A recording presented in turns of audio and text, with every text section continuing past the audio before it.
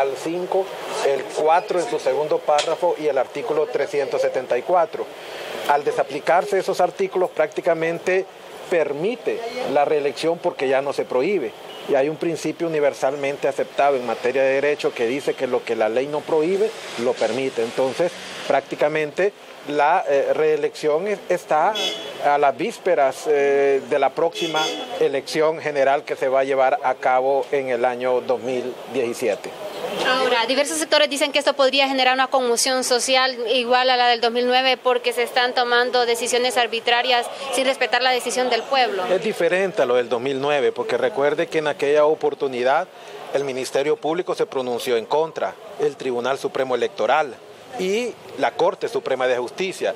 Y ahora la Corte Suprema de Justicia, después de una opinión favorable del Ministerio Público, profiere una sentencia. Entonces, ahora prácticamente es legal la, eh, la, la reelección porque ha sido el poder autorizado, como es la Corte Suprema de Justicia, a través de la Sala de lo Constitucional, la que interpretó que habían algunos artículos de la Constitución que eran contradictorios y que violentaban derechos universales, como es el derecho de elegir y de ser electo. Ahora, el objetivo del presidente Juan Orlando es la reelección. ¿Por qué todos los colaboradores cercanos niegan que esté buscando una reelección?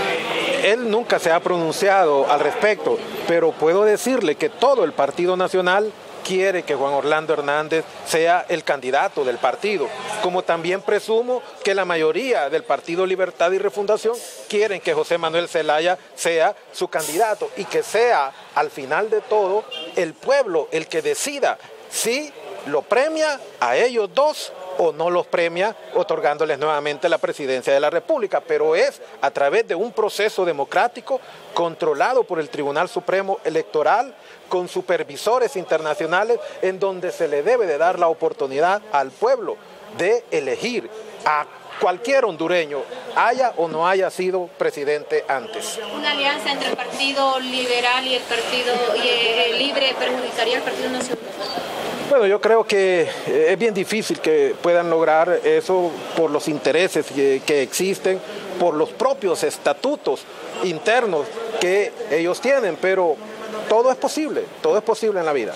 Hoy llega la maxi, ¿cuál sería la expectativa? Muchos piden que sea lo de la policía, que se intervenga de inmediato, o qué otros temas cree usted que serían eh, provechosos eh, que empezaran.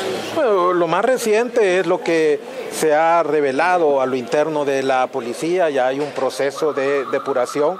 Creo que ellos en su momento deberán de evaluar cuáles serán los temas y casos emblemáticos que deberán de abordar a efecto de poder darle una eh, respuesta al pueblo hondureño, pero también deberán de ir trabajando, tal y como lo establecen los eh, o el convenio, en función de las reformas necesarias para que no se vuelvan a cometer actos de corrupción en nuestro país, reformas en el sistema de justicia penal y reformas en la ley electoral para controlar los financiamientos de las campañas políticas. ¿No les perjudicaría a ustedes estas reformas y están de acuerdo ya que muchos eh, de los de la oposición principalmente dicen que ustedes están en contra de la reforma electoral?